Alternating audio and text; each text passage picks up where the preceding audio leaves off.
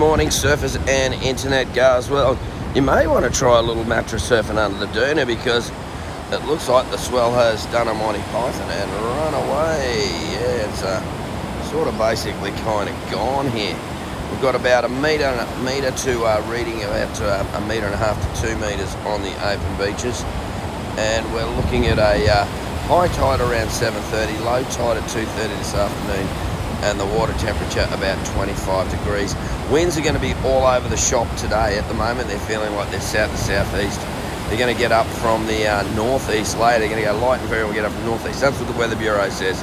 But at the moment, looks sort of southerly winds, and they're supposed to back off to light winds. So, yeah, get into it before that wind swings to the northeast. Probably going to be a stormy, sort of ugly kind of day. So, at the moment, on the points, it'll get a bit full with that high tide.